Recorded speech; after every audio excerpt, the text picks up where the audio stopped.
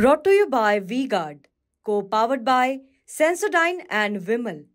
बोलो जुबा केसरी कांग्रेस के लोकसभा उम्मीदवार दीपेंद्र सिंह हुड्डा की तरफ़ से आज अपना नामांकन रोहतक में दाखिल किया गया है रोहतक में नामांकन दाखिल करने से पहले दीपेंद्र सिंह हुड्डा अपने सब परिवार के साथ, आज उन्होंने अपने पहले घर आवास के ऊपर हवन किया, जिस समय उनके पिता भूपेंद्र सिंह हुड्डा और उनकी माता और उनकी पत्नी भी मौजूद रहे।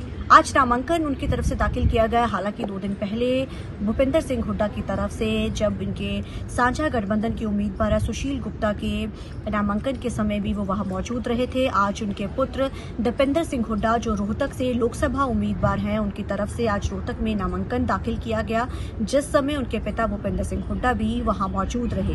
लंबे समय से लगातार जो कि लोकसभा चुनाव को लेकर प्रचार बड़ी जोरों के ऊपर है और जल्द ही हरियाणा में लोकसभा चुनाव होने जा रहे हैं। ऐसे में गठबंधन के तहत इस बार आम आदमी पार्टी और कांग्रेस जो है वो चुनाव लड़ने जा रही है।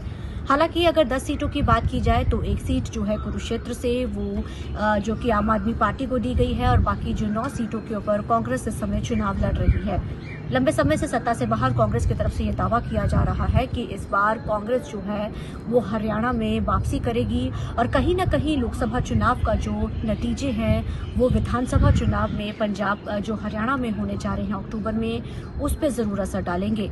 क्योंकि ये 10 लोकसभा सीटों को बड़े अहम रूप से देखा जा रहा है कांग्रेस और आम आदमी पार्टी के लिए इसलिए बड़ी अहम है क्योंकि गठबंधन के तहत दिल्ली में इंडिया गठबंधन किया गया है। तो अब ऐसे में पूरा दम ज़ोर ठोका जा रहा है। आम आदमी पार्टी बाकी सीटों के ऊपर और उनके जो कार्यकर्ता है, जोरों पर प्रचार कर रहे हैं कांग्रेस के हक के लिए। वहीं जहाँ एक सीट कुरुक्षेत्र में सुशील गुप्ता को दी गई है, उस सीट के ऊपर भी लगातार प्रचार हो रहा है। हालाँकि नामांकन का दौर लगातार जारी है। आज जो कि दीपेंद्र हुड्डा की तरफ़ से नामांकन दाखिल किए गए हैं। नामांकन दाखिल करने के दौरान एक शक्ति प्रदर्शन जो है वो पूरा दिखाया गया और जितने भी कांग्रेस के कार्यकर्ता थे, वो जब नामांकन दाखिल किया गया, उस समय वहाँ मौजूद थे और उनकी तरफ़ से अपने जीत का जीत का दावा ज़रूर ठोका गया है।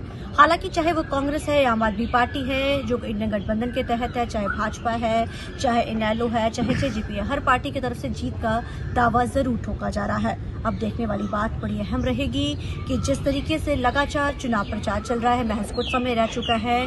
इस बार हरियाणा में पिछले दस साल से भाजपा की सरकार है तो इस बार किस तरीके का बदलाव जो है हरियाणा में देखने को मिलता है, इस पर नज़र ज़रूर रहेगी। चार जून को नतीजे आने हैं, जनता ने किसको फतवा दिया है, ये देखना बड़ा अहम रहेगा। कैमरामैन अलजिंदर के साथ चंडीगढ़ से टीवी नाइन के लिए अमनप्रीत कौर।